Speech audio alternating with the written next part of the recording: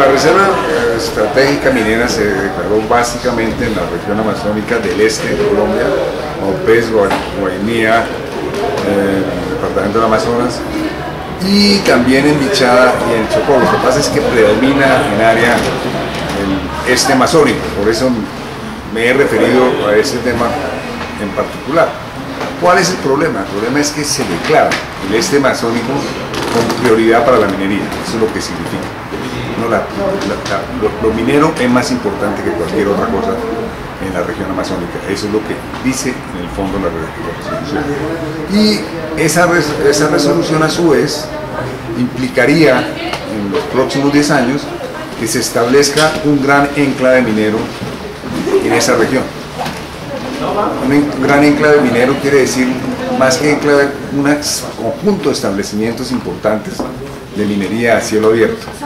Cuando usted coloca en la selva un conjunto de establecimientos mineros, usted tiene que, eh, construir carreteras, tiene que establecer poblados, tiene que traer gente para, para las minas, tiene que naturalmente crear todo tipo de infraestructuras y eso genera inevitablemente las vías de acceso a zonas antes muy inaccesibles de miles de colombianos sin tierra que van en busca de su sustento. Y esos miles de colombianos sin tierra y con ellos grandes hacendados interesados en establecer grandes haciendas ganaderas, es lo que se llama la potrebización del país, pues va a generar inevitablemente una destrucción y una deforestación muy grande vamos a perder esa parte de la región amazónica. Y algunos dirán, está exagerando Manuel Rodríguez. No, esa es la experiencia internacional. No hay selva húmeda tropical en la cual se haya establecido este tipo de actividad que no haya sido deteriorada y destruida en forma aguda. Y por consiguiente, a partir de esas experiencias es que en Colombia debemos decidir si en el este amazónico se hace minería o no se hace minería.